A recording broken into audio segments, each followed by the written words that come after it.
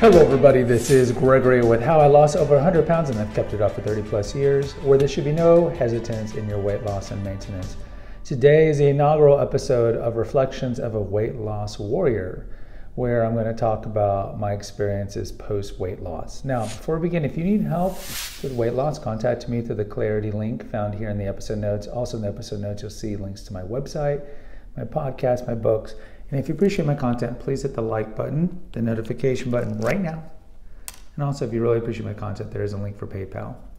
So, this is the beginning of the new kind of personal reflection series. The original one was Confessions of an Obese Child. There are 20 episodes there. I recommend you check out that playlist. And that discussed my experiences uh, through childhood of being an over, overweight uh, child and adolescent. And it ended with me losing my weight in uh, the winter spring of 1991. That's how old I am.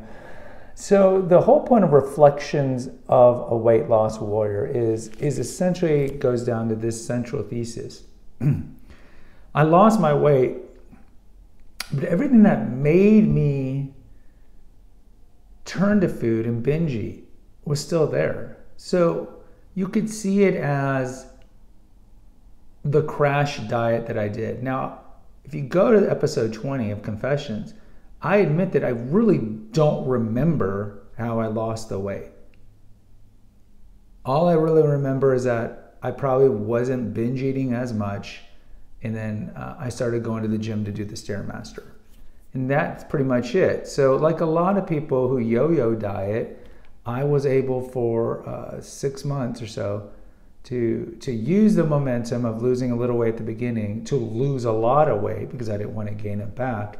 And then I blinked at my milestone, which was the junior cross and ring ceremony, and I had lost, I think, at, at that point, uh, maybe 80 pounds. And I was like, okay, well, now I'm regular weighted. And at that point, in retrospect, but even at that point, I was petrified because now it's like Flowers for Algernon. I've mentioned that novel before of, of the person who is kind of like, I guess you would say, special ed, and then he takes a experimental drug, and then he becomes brilliant, and he gets to experience the whole world, women, and all these things. But then the drug stops working, and he goes back to the way he was before. So I had this petrifying fear for the next at least 15 years of gaining the weight back. Because it's like, given I was given this new opportunity. Don't lose it. Don't screw this up.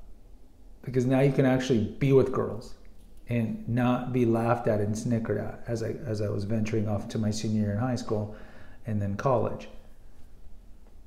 And so that's one fear thing. The other one was I still had disordered eating. I was just able to control the disordered eating for six months. I still had disordered eating. And the point of reflections of a weight loss warrior is, especially the first five, seven episodes, is going to be talking about my post weight loss binge eating. That didn't stop. If anything, it got almost worse. But since I lost the weight, I was able to exercise more efficiently. So it was certainly, like I talked about in that episode, calorie in, calorie out. It was calorie in, calorie out for a good 15 years. So it wasn't like, oh, the sun came up, normal relationship with food. I only eat till I'm no longer hungry. Yay. No, it was a lot of disordered eating. So in reflections, I'm going to talk about that. I'm going to talk about the beginning, some of my experiences post weight loss with women and with my friends. And I'm going to talk about later about survivor's guilt, imposter syndrome. I'm going to talk about some of my horrible binge eating uh, strategies that I came up with, and so forth.